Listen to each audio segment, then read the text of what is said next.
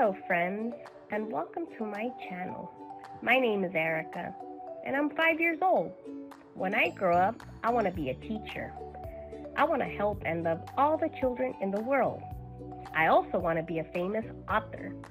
I want to write books that will help children and parents understand one another to help strengthen family relationships.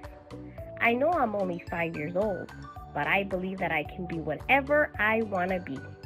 I really hope that you like my books and videos and that I can help and make a huge difference in many kids like me.